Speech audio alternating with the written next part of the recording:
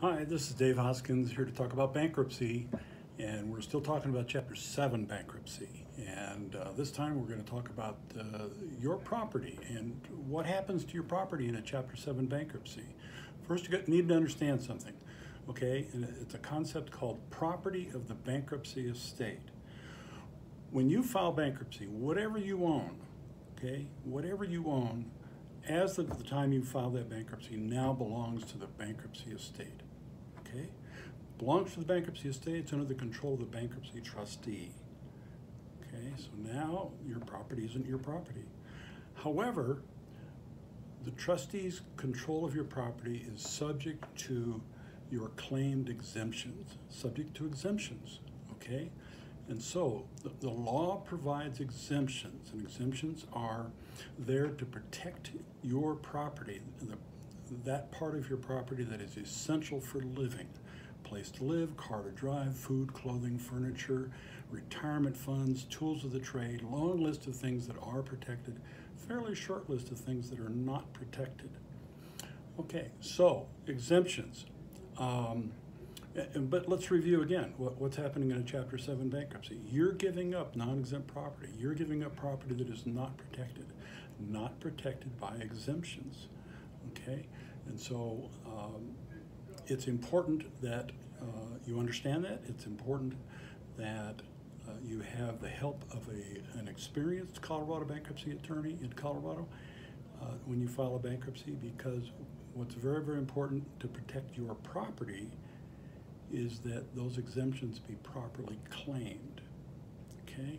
So, uh, let's talk about different kinds of property. First off, cash okay? And this is cash in your pocket, cash under a mattress, cash in the bank, whatever. On the day the case is filed, you have cash, okay? You have some. And where is it? Well, is it, is it in your pocket? Hard to protect in your pocket. Is it in the bank? Best place. Best place for your money is to be in the bank because then you have a better chance of proving where it came from. Okay, so um, so cash in a bank, uh, because it's it's it's fairly easy to prove where it came from. You can show the paycheck went in there, direct deposit, or paycheck went in there. You can you can show your pay stub. You see the amount. The amount went into the bank. Easy to prove. Okay, so we can protect wages sitting in a bank account. Okay, 75%. Presently, it's 75% protected, 25% unprotected. Now that changes October 1, 2020, and it becomes 80%.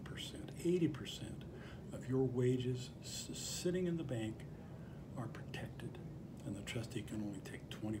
That's very important. Okay, so wages are protected 75% presently, 80% shortly in the future. Uh, unemployment benefits are protected 100% as long as you can prove where, uh, where they came from. That's why you want them in the bank so that you can show that unemployment check direct deposited in and easy to prove. Okay, 100% protected. Uh, but cash that's in the bank that comes from it, it's a gift, uh, a loan, uh, maybe the proceeds of a car you sold, something like that, not protected. Okay, so these are important concepts.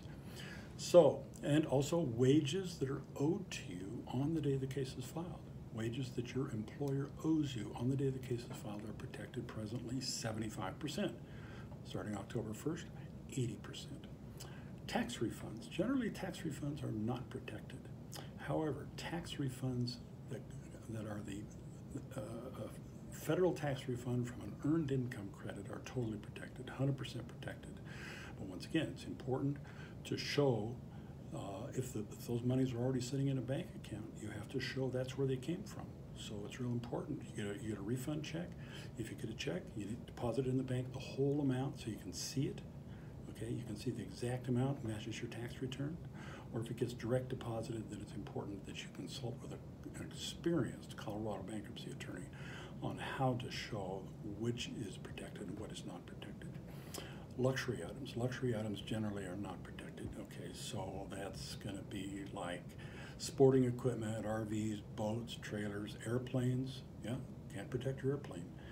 Uh, second homes, timeshares, uh, collectibles, art, antiques, that sort of thing. Um, investments that are not within a retirement fund, not protected. So What's important here? Get help.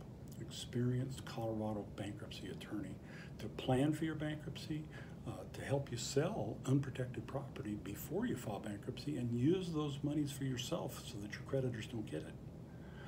So let's review. Um, first off, Chapter 7 bankruptcy.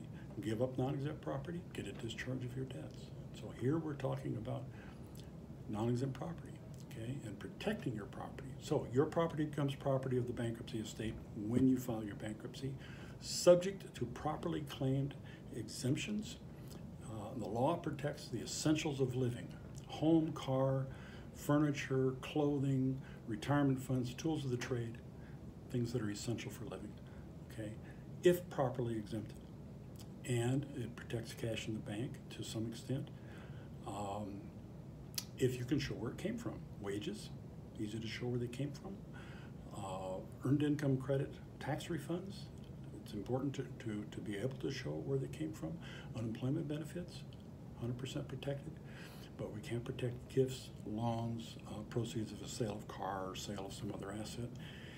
Uh, toys are not protected. Uh, RVs, boats, sporting equipment, firearms, airplanes, can't protect your airplane. And what's essential? An experienced Colorado bankruptcy attorney helping you. Next video, we're going to talk about Chapter 13. Thank you very much.